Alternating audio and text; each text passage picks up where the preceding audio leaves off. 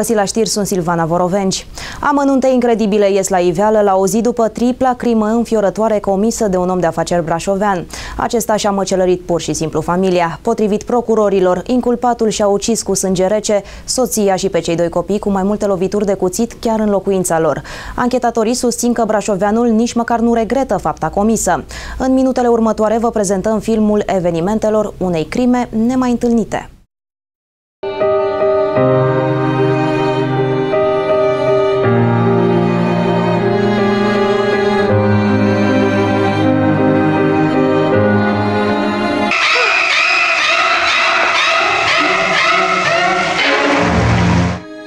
Problemele psihice ale inculpatului de 43 de ani s-au accentuat cu o zi înaintea producerii tragediei. Luni, Brașoveanul a vizitat mănăstirea din Șinca Veche pentru a se reculege. Acolo a petrecut o oră, s-a rugat și a asistat la o slujbă, numai că, din păcate, nu a găsit liniștea pe care o căuta.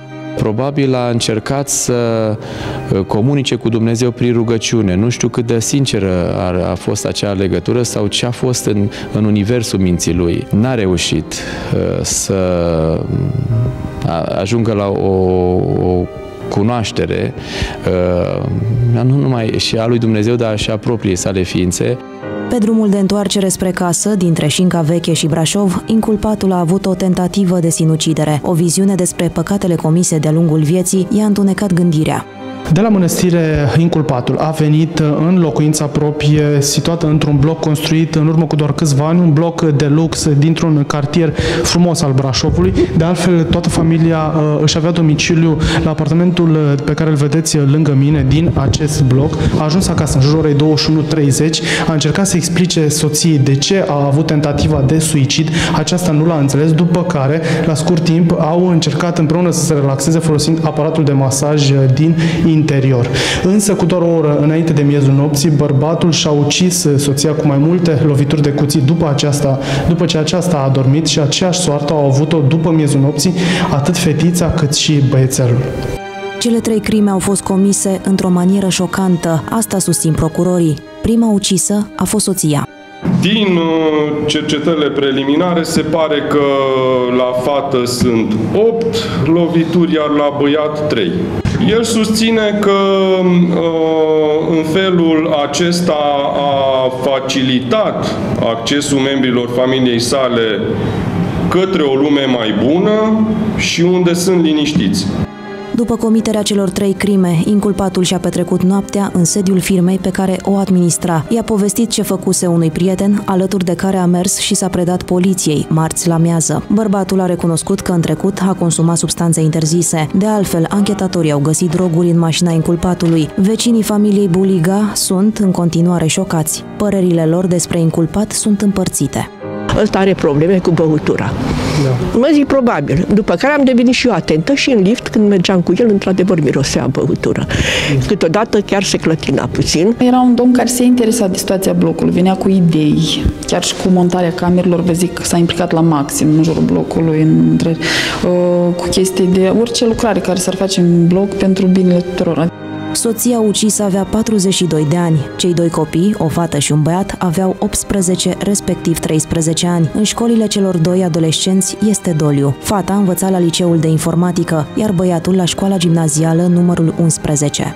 În momentul de față stau exact pe locul unde ar fi trebuit uh, să stea Ștefan, însă din păcate acesta uh, nu uh, se va mai așeza în banca aceasta.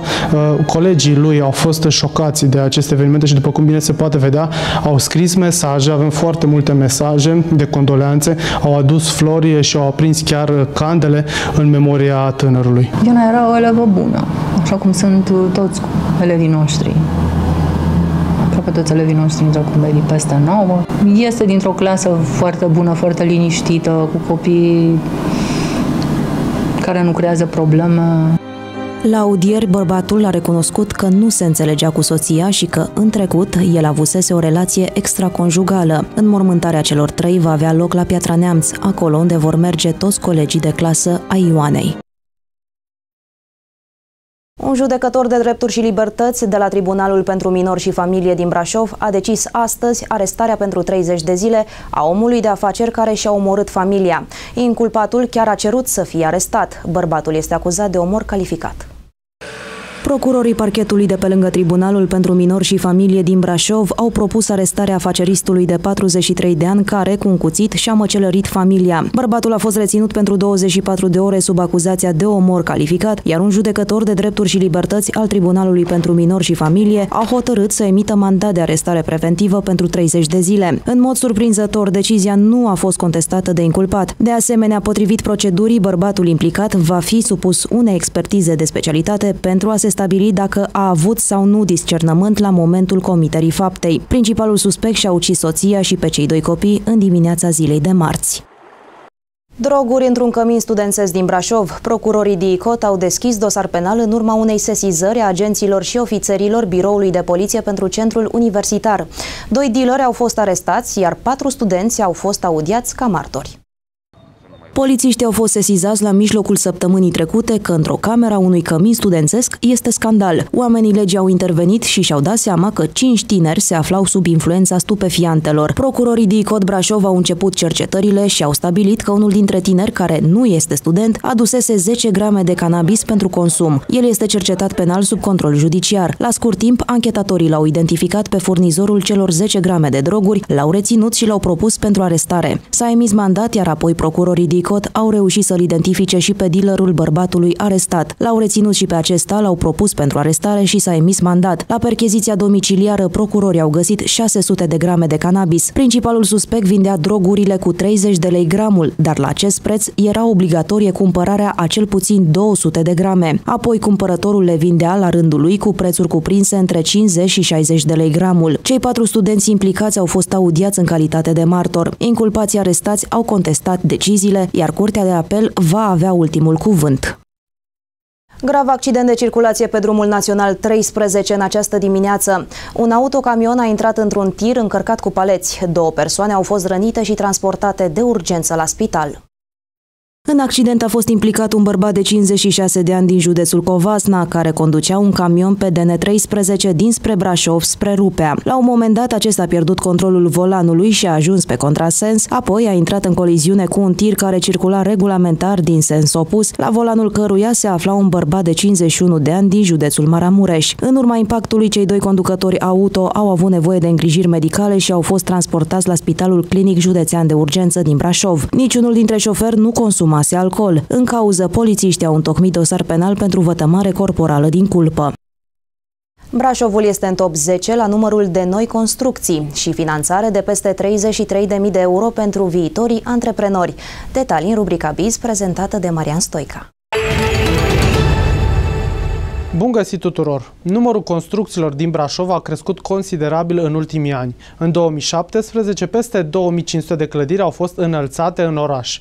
Potrivit Institutului Național de Statistică, Brașovul se află în primele 10 orașe din țară care au ridicat noi construcții. Orașul în care au apărut cele mai multe clădiri este Ilfov, urmat de Cluj și Timișoara. Cele mai puține locuințe construite în 2017 se regăsesc în județele Caraș-Severin, Covasna, Teleorman, Mehedinți și Harghita. Finanțare de peste 33.000 de euro pentru viitorii antreprenori. 300 de persoane din regiunea de dezvoltare Centru, care include județele Brașov, Alba, Mureș, Sibiu, Covazna și Harghita, se pot înscrie în proiectul România Startup Plus. Cei care doresc să se înscrie trebuie să aibă peste 18 ani, reședința sau domiciliul să fie în unul dintre cele șase orașe din regiunea centru și să fie absolvit 10 clase. În proiect nu pot intra tinerii care nu urmează nicio formă de învățământ și nici nu au un loc de muncă cu vârsta între 16 și 24 de ani. Proiectul se derulează pe o perioadă de 36 de luni în care participanții vor beneficia de cursuri gratuite de antreprenoriat. La finalul, la finalul cursurilor de pregătire, 36 de noi afaceri cu profil non-agricol agricol vor fi înființate. Din grupul țintă vor face parte 150 de femei și 150 de bărbați, 20 de persoane din cele șase județe. Moneda europeană a fost cotată la 4 lei și 65 de bani. Dolarul american valorează 3 lei și 75 de bani, iar francul elvețian costă 3 lei și 95 de bani. Valoarea gramului de aur a crescut și a ajuns la 161 de lei și 89 de bani. Demonstrație de încondeiere a ouălor la Muzeul de Etnografie din Brașov. Protagoniștii au fost elevii claselor 1 și a doua de la școala gimnazială numărul 27, Anatol Germanski. Activitatea a fost coordonată de către maestri populari. Noi facem cu ceară fierbinte, da? Și acum acoperim ceea ce vrem să rămână culoarea oului. Toate florile acestea care tu le uh, desenezi acum pe ou, o să rămână culoarea oului. Elevii au folosit ouă de găină cu coajă albă și netedă, spălate, fierte și răcite pe care le-au pictat cu ceară topită. A fost o primă întâlnire cu copilași micuți despre o încondeiate, le-am povestit care e tehnica, care sunt motivele ornamentale și ne-am axat în special pe ouă de bran. Și am făcut o demonstrație în fața lor de la început până la sfârșitul nou, în toate fazele. Copiii au fost încântați să descopere arta încondeierii. Am învățat că cum putem să pictăm un ou colorat. Am învățat cum se încodează niște ouă și uh, trebuie să punem ceară pe ele și apoi să le colorăm. Muzeul de etnografie organizează frecvent ateliere pentru copii. Am mai organizat la muzeu asemenea activități aproape în fiecare an, în preajma sărbătorilor Paștelui. Uh, s-a desfășurat foarte bine, cei mici au văzut care sunt tainele meșteșugului și au apucat să facă și ei câteva uh, linii și să țină condeiul în mână. Meșteșugul încondeierii ouălor se transmite din generație în generație și reprezintă un obicei străvechi în tradiția românească. Știrile Brașov TV au ajuns la final. Nu uitați, ne puteți urmări și online. Toate jurnalele noastre sunt disponibile pe site-ul brașovtv.com și dacă ați surprins imagini sau aveți informații importante, le puteți trimite la adresa știrarondbrașovtv.com. Rămâneți alături de noi, urmează datele despre vreme. Sunt Silvana Borovenci, la revedere!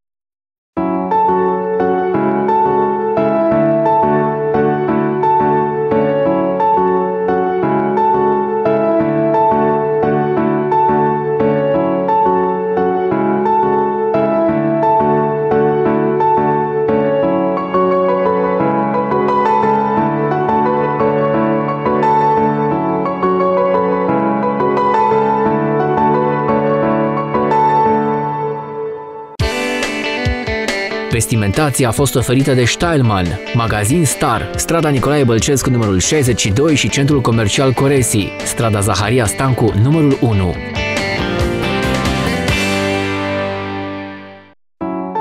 Centru Spa angajează hairstylist cu experiență minimă. Detalii puteți obține la numărul de telefon 0741 127 537.